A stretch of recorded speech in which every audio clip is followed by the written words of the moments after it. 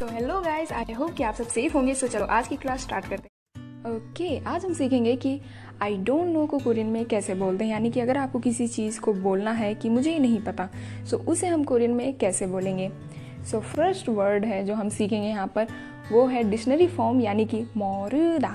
मोरुदा। मोरुदा means होता है to not know and इसको जब भी हम सेंटेंस फॉर्म में तो मोल आ यो मोल्लायो मोल्लायो। मोल्लायो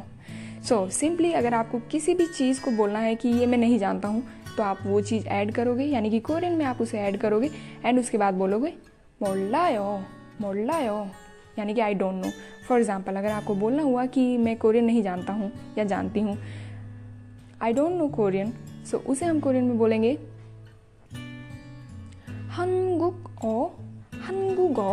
한국어 몰라요 한국어 몰라요 एंड अगर आपको बोलना हुआ कि I don't know English so उसे कोरियन में बोलेंगे 영어 몰라요 영어 몰라요 영어 영어 영어 몰라요 영어 몰라요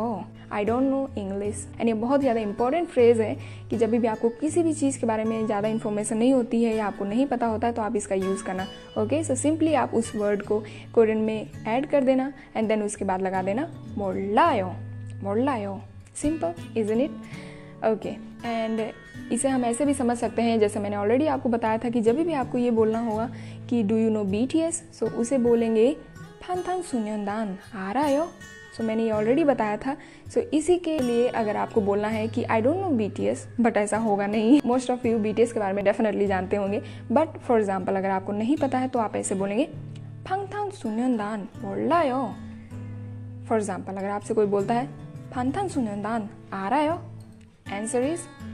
फंथान सुन्यदान 몰라요 몰라요 블랙핑크 몰라요